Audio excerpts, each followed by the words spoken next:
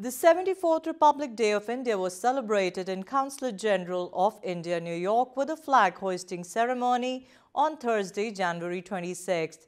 Consul General Randhir Jaiswal unfurled the national flag, after which the national anthem was sung. The Consul General then read out the address of the President of India. A short cultural program of patriotic songs was presented by Bharatiya Vidya Bhavan, USA. In the evening, the Consul General hosted a reception which was attended by prominent members of the diaspora, elected officials, a member of the diplomatic corps, friends from the media and people from different walks of life. More than 150 guests graced the occasion. The evening function began with singing of the Indian and US national anthem by Master Ishan Tangriala, a young talented singer of Indian origin from New Jersey. Later, Grammy Award winning singer Falguni Shah delivered an enthralling performance of patriotic songs. Guests then invited for an Indian dinner where they were treated to a wide variety of regional cuisines. A special attraction on the menu was cuisines of millets from different parts of India in celebration of the International Year of Millets 2023. The event had a distinct flavor of Azadi Ka Amrit Mahotsav, the celebration of 75 years of India's independence. Enjoy the highlights.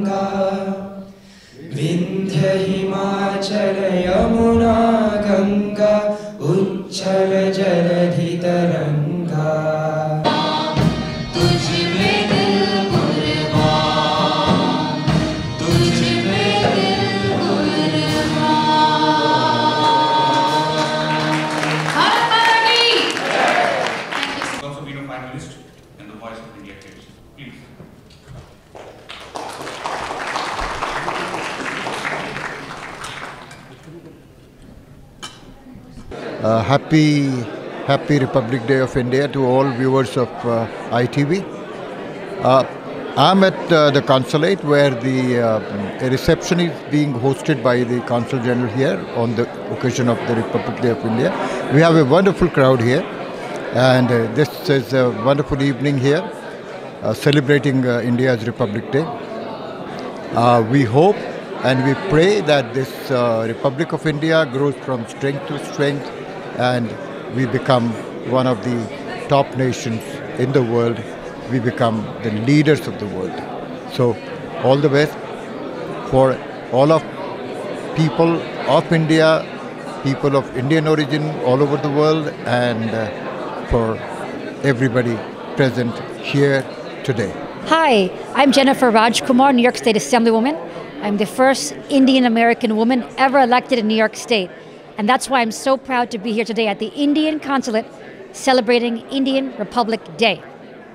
This is a very, very special day, and I think of the stories of Prime Minister Jawaharlal Nehru. Once he carried my mother in his arms. I also grew up on the stories of Mahatma Gandhi, and I learned how he inspired Martin Luther King Jr., America's very own civil rights hero.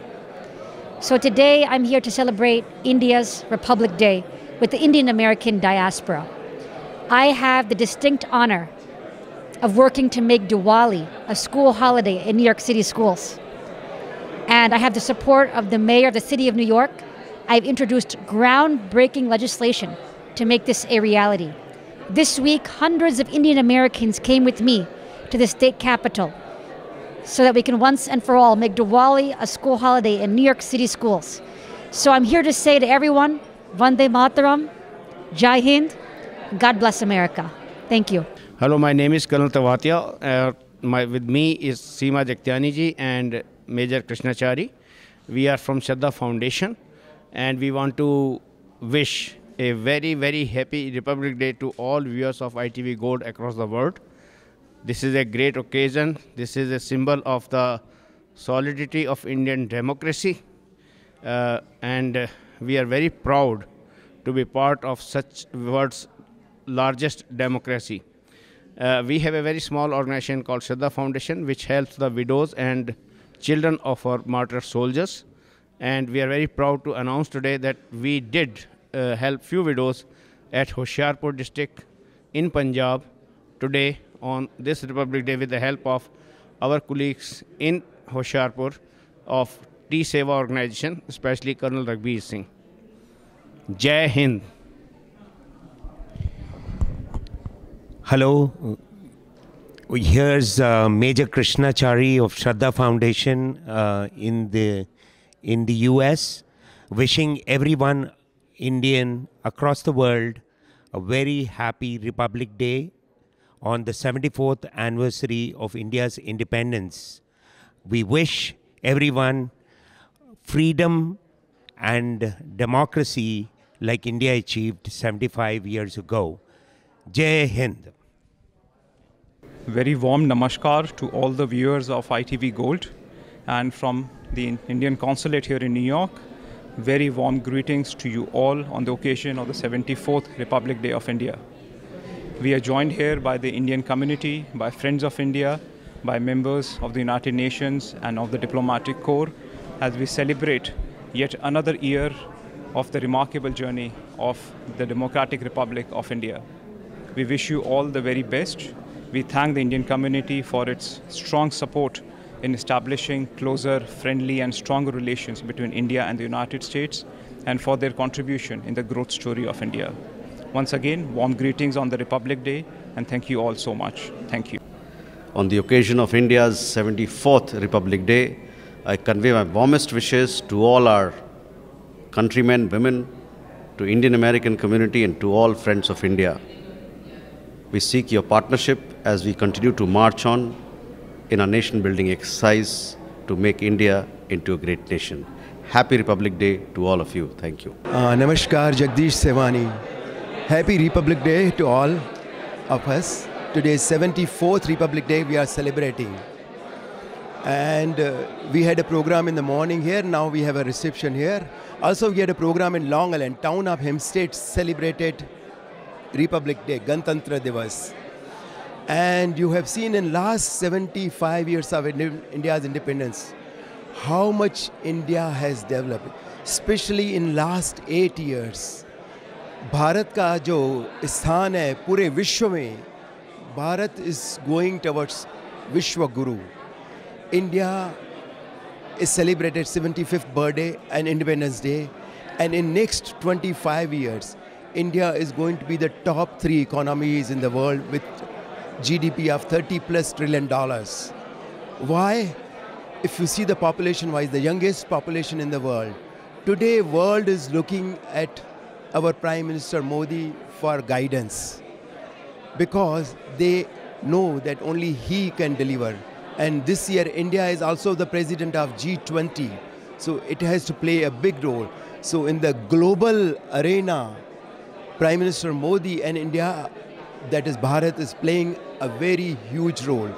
And we must not forget the martyrs, the soldiers who gave their life for India's independence. And today, we must ask ourselves what we can do for Bharat in next 25 years to make India a Vishwaguru. Namaskar.